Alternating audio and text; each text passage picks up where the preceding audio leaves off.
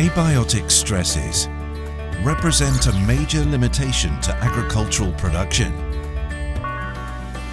These stresses can be physical, such as high and low temperatures, infrared and ultraviolet radiation, drought and flooding, or chemical stresses like air pollution, toxins, soil pH, water pH, and salinity. For all these stresses, Megafol is the Valagro all-natural solution, able to preserve growth under stress condition thanks to specific organic osmolytes.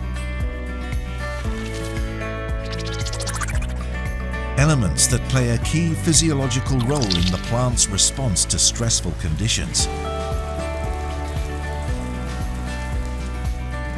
And thanks to its growth mechanisms,